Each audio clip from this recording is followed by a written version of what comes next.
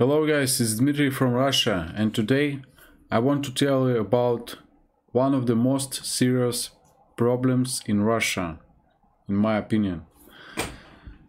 So, um, I have prepared the text in advance for this video and because uh, my English is not, is not very good, I, I will mostly read the text. Okay. Let's get started.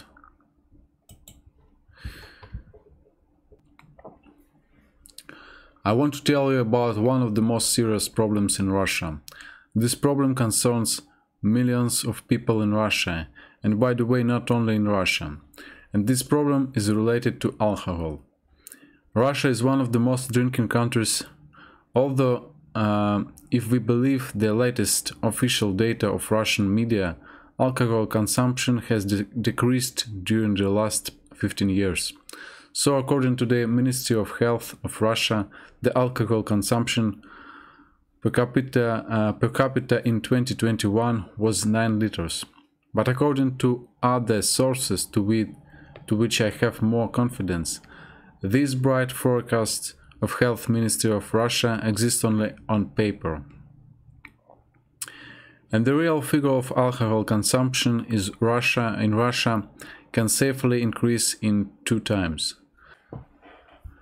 So according to the latest data from Rosstat of the Russian Federation, the sale of alcohol in Russia has increased and besides illegal sale of alcohol is not taken into account here which is also very common in Russian.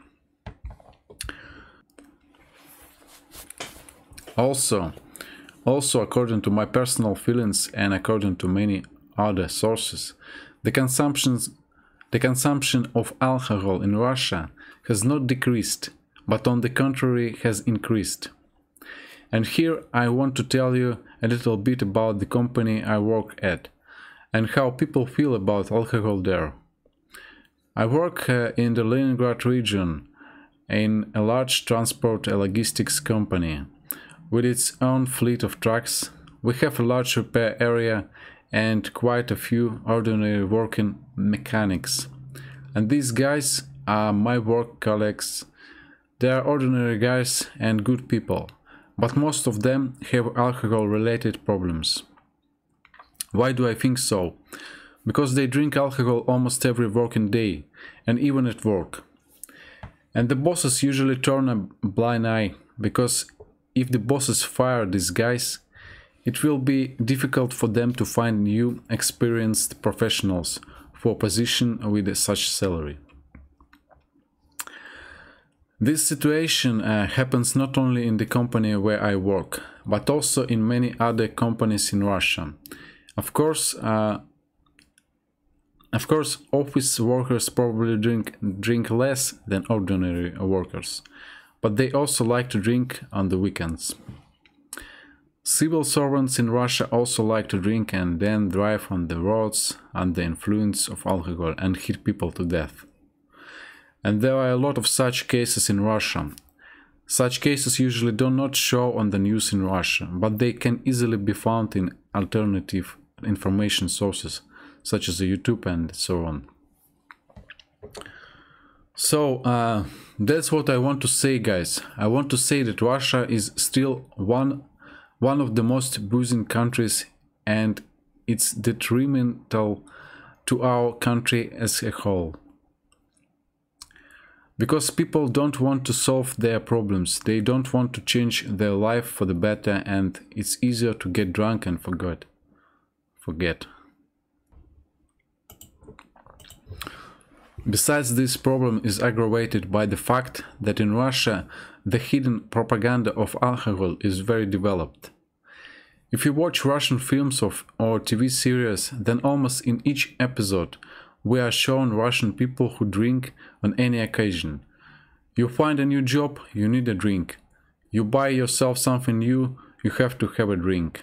If you have a quarrel with someone close to you, again you have to have a drink. So they show us in Russia, especially in the movies, that we Russians drink on any occasion or no occasion. They show it to us as if it's the norm for us, as if it should be. And, uh, and those shows and movies are watched by millions of people in Russia, and they begin to repeat those programs. Programs. They start drinking on any occasion or no occasion at all. So first people watch it on TV and then it goes into their lives.